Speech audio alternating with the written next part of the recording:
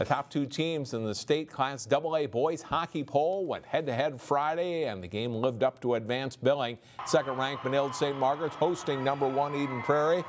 Benilde Zach Risteau forces a turnover and sets up Auggie Moore for a backhander and a goal. It's one night red one nothing Red Knights after a period.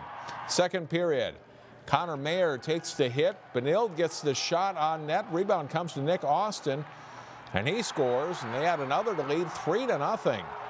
But Eden Prairie comes back. Kicking Liverman's shot hits traffic. Nolan Sullivan stopped once and then lifts the backhander in there for the goal. That made it 3-2, and they would tie it later in the period. Watch this one more. Spins and feeds it to Risteau. Hits the goalie pads. Cade Gleekle there knocks it in. 4-3 Benilde. Eden Prairie answers with two in a row. Lieberman's point shot kicked out, but Sullivan with the rebound goal. Eagles lead 5-4.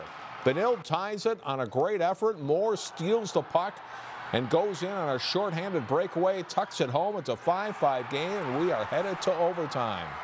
On a power play in OT, Risteau works the give and go and snaps the shot in. That is the game winner. The Red Knights topple number one Eden Prairie, 6 to 5. And Mike and Alex, they are now 7 0 on the season. It was a great atmosphere. Great win. Yeah. All right. Thanks, John.